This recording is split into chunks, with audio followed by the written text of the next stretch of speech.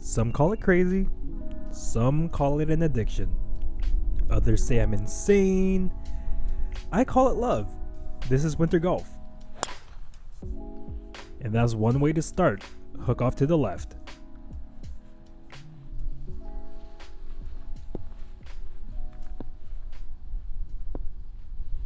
I think I was just gauging how much it would hurt my hands if I were to thin the shot or if I was to take a divot.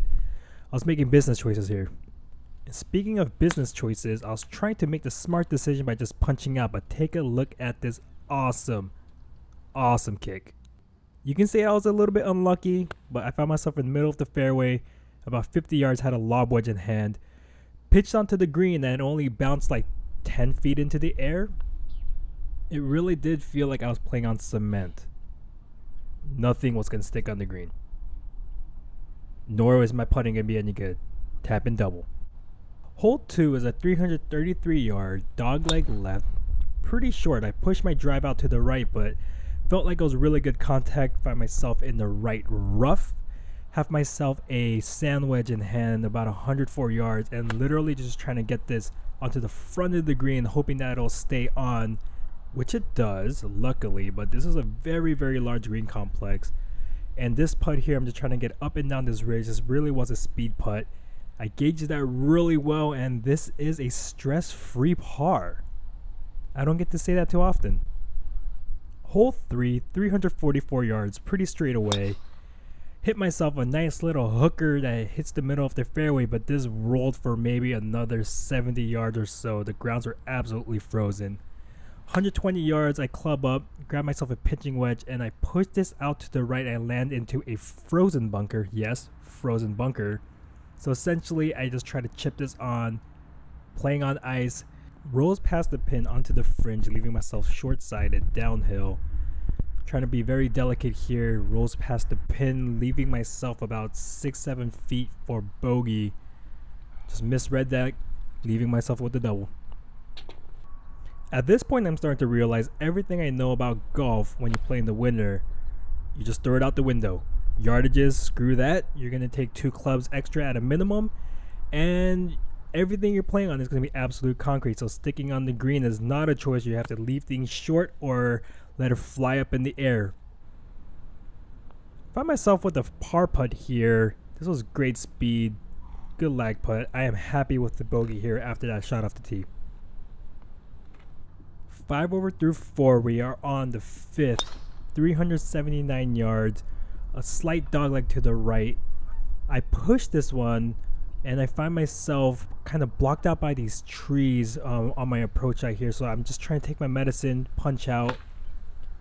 I hit about four inches behind the ball, but luckily the bunkers are frozen, so I actually bounce out of the bunker, leaving myself about 127 yards, pitching wedge in hand trying to leave this intentionally short, not that short because I chunked that. And like I said, playing on concrete. Now this putt here was going downhill, everything was breaking to the right, but I really underread this putt, leaving myself with a about five footer up the hill for double. Confident. Par 5, 514 yards, and here is the worst tee shot of the day. Absolutely sliced that out into the trees. Took a drop here. Shot three with my hybrid. Top that, just let that thing scurry along the ground. Visibly frustrated, leaving myself 240 yards. Have myself a five iron looking to just lay up. Slice that into the trees. Find myself in more trouble here. And again, taking my medicine, just punching out. This was a great shot probably the best one of the hole. I have a 58 yard little delicate chip on trying to get this in front of the green but left it short. I'm short sighted here trying to play a little flop shot. I was like, what the hell? And check this out. That pitched right next to the hole. I don't even care that I missed this putt for triple and I ended up with the quad here, but that was an amazing, amazing flop shot. Following that amazing quad on the scorecard with a push fade out to the right here, par 4, 337 yards. Find myself on top of this mound. It was a really funky lie, and I ended up just hosel shanking this. Luckily, it stayed out of the trees here. I have myself about 52 yards, sand wedge. I was just going to keep this low. It pitched out on the green, but it rolled off to the other tee box for the next hole, leaving myself another delicate little pitch, which goes all the way to the back of the green again. And I have myself a long 60 footer for bogey. Again, another speed putt here, and this was the best putt of the day. Tap and double. Par 3, 142 yards. I have myself an 8 iron. The only goal here was to pitch it onto the middle of the green, which it does, but it does roll off to the back. So I'm putting from the fringe here. Have myself about, I think it was about 35 feet down the hill. It broke off to my left, camera right. I left that really short. I have myself about another 7, 8 feet here. And I just pulled that off to the left. Finishing off the front nine, we have a 342 yard par 4 at this point, I'm 14 over, so I'm just trying to have some fun understanding how to play in the winter, which I will never figure out. But I pounded this drive.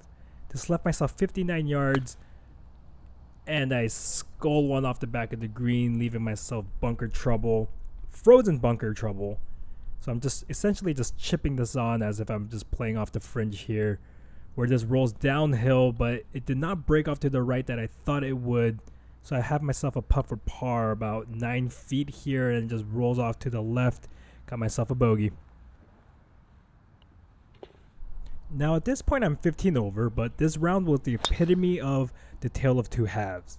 Starting with this great drive off the tee, that was a perfect draw. It just rolled off into the right rough, but that was confidence inspiring. Leaving myself with 77 yards, put myself a confident swing only to chunk it, leaving myself with a chip on for birdie. I have a pitching wedge here. I decided to not lob anything onto the green, but this also was a frozen fairway. And I have myself a putt for par. 15 feet here, left as short. Have myself a three footer for bogey, and we're out. Now, this was a cool hole. 150 yards playing downhill. I was playing into the wind. Had myself an 8 iron. I thought I put a really good swing on here, but it was just a little bit short off to the right. So I'm looking at this upslope pitch here, and I was a little bit scared about putting anything in the air and landing it onto the green, so I tried to get it on the green as soon as possible. Was successful in that shot, leaving myself a putt for par, but again, left that short. Had myself about three feet for bogey here, and I sink that. We're moving on to the next hole. So prior to this tee shot, I spent about five minutes just trying to get my tee in the ground, but I gave up trying to get it to the right height. In hindsight, that was a terrible idea because I ended up skying this ball leaving me with this awkward shot with the ball below my feet but playing uphill. Ended up topping that, only rolls out about what 50 yards or so. Not even 50, maybe about 20 yards. Leaving myself with the same shot. I have a six iron here. This one plays downhill. And I pitches on to the front of the green, hoping that it'll roll up. And it rolls up pin high. And I have myself a putt for par, which just slides past the hole. Didn't leave it short, so I can't be mad. Leave myself a bogey. Hole 13, 364 yards. This is a slight dogleg right. And I ended up hooking this behind this tree here. And I have about 170 yards or so. This plays a little bit downhill, six iron in hand. And I hit an absolute laser. It lands right in front of the green and it rolls up next to the pin. I have a putt for birdie. And this is about 15 feet down the hill. I took a lot of time here. And it just broke a little bit more than I anticipated leaving myself this little knee knocker for 4 feet for par.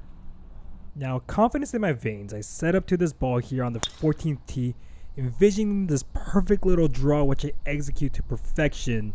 And this is a par 5 dogleg right. It plays a little bit downhill, but there's no chance that I'm actually going to get on into. So take my hybrid, just try to get to the dogleg, pull this a little bit to the left, but that's fine. It leaves me a good number in, 170 yards going downhill. But first, I try to avoid getting crapped on by these massive group of geese.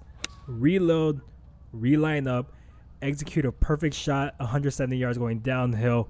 Again, this rolls up to the front of the green. I'm trying to play everything short here. I have a putt for birdie. This is a green in regulation for your boy.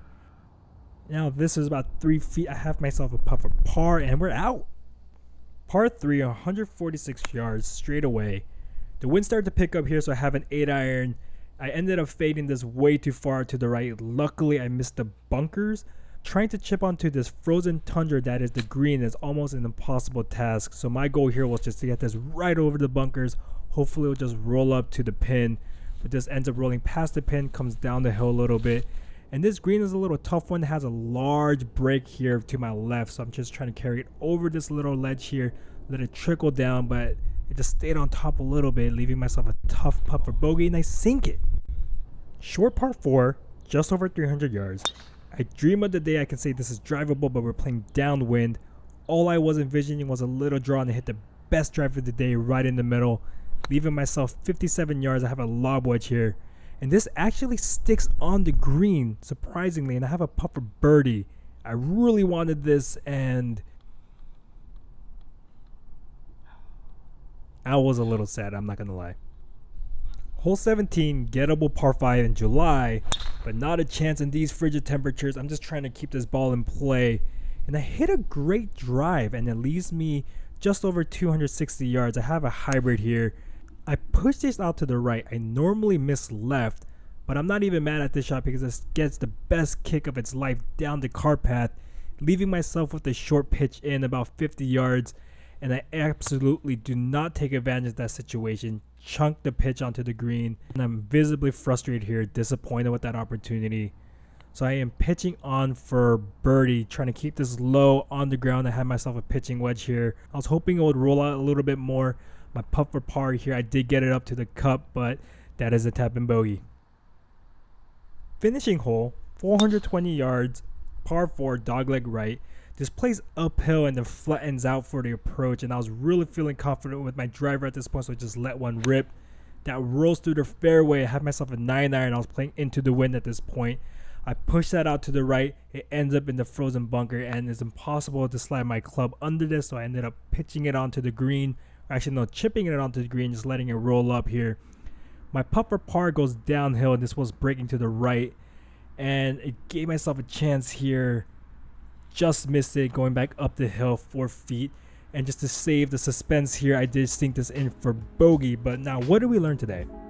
Winter golf is absolutely not like July golf. And I'm very, very impressed with the way that it bounced back. 42 on the back nine, so if I'm thinking about doing these two times together, that's an 84 potentially. Hopefully I get there. Hopefully.